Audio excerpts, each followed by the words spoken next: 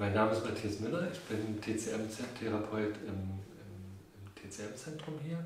Ähm, ich behandle Patienten über die Bauakupunktur, über die chinesische Bauakupunktur. Ähm, die Bauakupunktur ist ein enges Mikroakupunktursystem, wie das Ohr auch. Das Ohr stellt, ähm, stellt den, den ganzen Körper. Also das, das Große ist im Kleinen immer wieder ähm, zu, zu spiegeln. Und das kann man, wie Sie sehen, hier am Ohr einerseits sehen und das gibt es sowohl am, äh, am Bauch auch. Ähm, die, die Bauchakupunktur ist eine sehr junge Akupunkturform, die gibt es seit ca. 30 Jahren.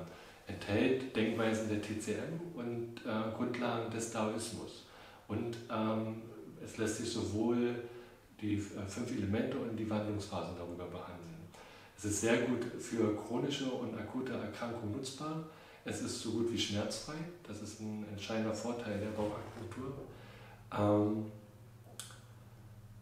und man, man agiert über verschiedenste Ebenen in der Bauakupunktur. Die oberflächliche Ebene, die oberflächliche Nadeln gilt für, ähm, für muskuläre Erkrankungen, für Skeletterkrankungen wie, wie Halswirbelsäulenbeschwerden, Beschwerden an Extremitäten, Gelenksschmerzen etc. Ähm, die, die mittlere Ebene dient, der Nadel dient dazu, ähm, die, die, das Qi zu bewegen, das in den Meridianen fließt und es zu harmonisieren. Ähm, und die dritte Ebene, die tiefere Nadelung, dient äh, um Behandlung von inneren Erkrankungen. Deswegen sind es, es gibt genauso gut die Möglichkeit, auch äh, Schlafstörungen zu behandeln, Schwindel zu behandeln, behandeln äh, Magen-Darm-Beschwerden zu behandeln. Ähm, eine sehr, sehr vielseitige äh, Möglichkeit. Ähm, in der Bauakupunktur nutzt man unter anderem das Meridiansystem und man nutzt gewisse Extrapunkte, die aber im Meridiansystem nicht so ähm, vermerkt sind. Und da nutzen wir ähm, ein sogenanntes Zunmeter, um bestimmte Punkte zu finden. Das ermöglicht einem eine genaue Zuordnung, weil jeder Mensch eine andere äh, Maßgebung hat.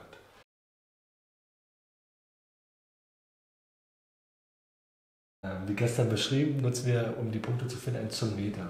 Ähm, Wichtig ist, dass man sich jetzt bestimmte Punkte raussucht, ähm, die sozusagen dieses, dieses Akupunktursystem, das Mikroakupunktursystem, damit darstellen. Das ist Rennen 12, das ist Rennen 10. Das sind Punkte, die ähm, für, für die Grundtherapie äh, notwendig sind. Mit diesem Konzept, was ich jetzt hier anzeichne, behandle ich äh, Kopfschmerzen, Migräneartige Schmerzen.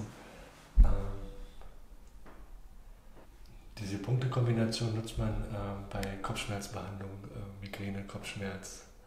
Äh, man kann einen Teil davon auch bei Schwindel nutzen. Ähm, das ist je nach Lokalisation des Schmerzes, ähm, geht sozusagen nach der, ähm, entscheidet man die Punktewahl. Ähm, es gibt ein gewisses Grundkonzept, was man hat, und dann wird es sehr spezifisch.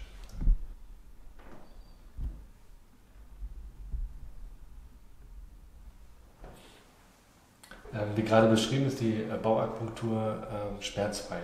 Man nutzt zur Hilfe ein sogenanntes Führungsröhrchen. Damit kann man, wie der Name schon sagt, die Nadel führen.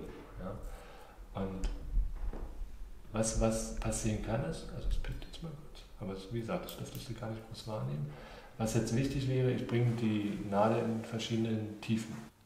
Ich merke jetzt, diese, diese Nadel möchte ich in die, in, in Höhe der Muskelschicht bringen. Das heißt, eine sehr eine relativ tiefe Nadelung. Ähm, ich merke das als Therapeut an einem Widerstand, wenn ich die Nadel stimuliere. Wenn ich diesen Widerstand habe, möchte ich da nicht drüber hinausgehen. Weil dann würde man in die Muskelschicht landen und das ist dann schmerzhaft. Das wird dann zum Beispiel mit einem Brennen beschrieben.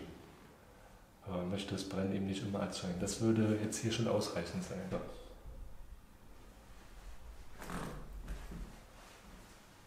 Und die Nadelung erfolgt jetzt nach, einer, nach einem bestimmten Konzept, das sich je nach Indikation äh, variiert.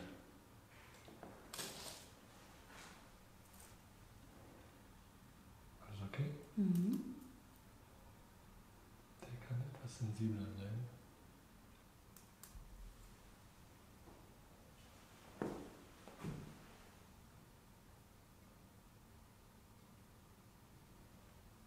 stimuliere ich jetzt etwas, weil ich damit das Ziel habe, den, den Kopfschmerz zu beeinflussen.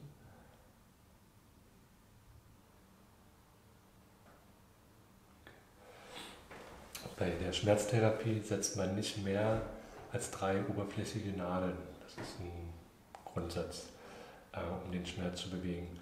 An sich ist die Bauakupunktur äh, alleine ein komplettes Wirkungssystem. Was man jetzt zusätzlich machen könnte, ist ergänzend tätig sein, ähm, aus Sicht der TCM, dass man vorher guckt, ähm, was äh, für Disbalancen im System gibt. Dass man sich Zunge, Puls anschaut und daran sieht, ähm, wie die Grundkonstitution ist. Und dann könnte man ergänzend tätig sein.